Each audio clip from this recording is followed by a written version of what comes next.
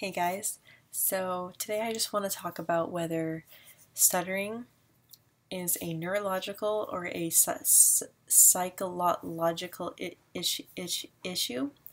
And there are many studies that have been done proving that stuttering is a neur neurological issue, but there have also been, been studies pr to prove that that stuttering has to do with psychological issues too.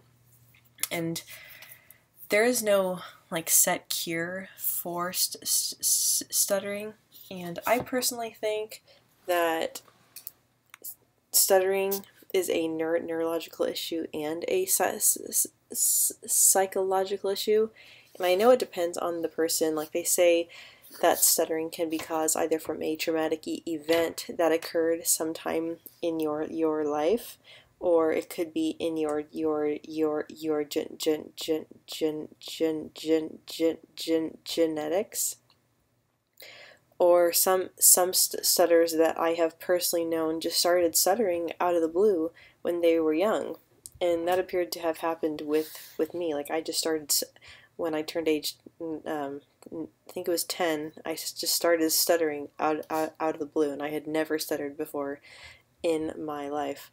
So, honestly, I think it could be both issues, could be both neurological and psychological.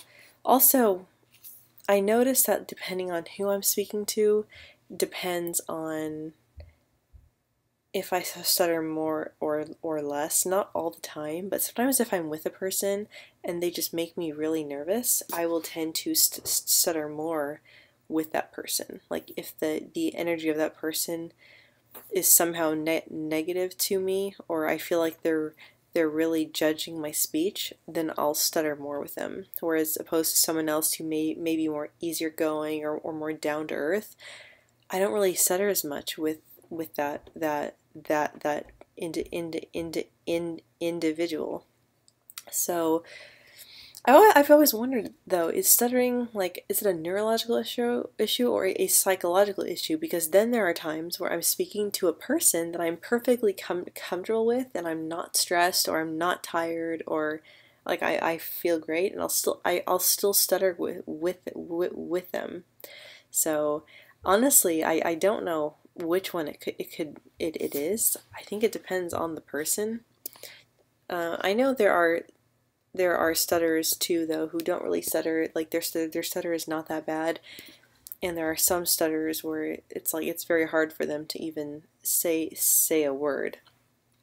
I know for for me that it goes back and forth like there there'll be times I can go weeks sometimes being relatively fluent like I'll I'll stutter a bit but it, it won't be that bad.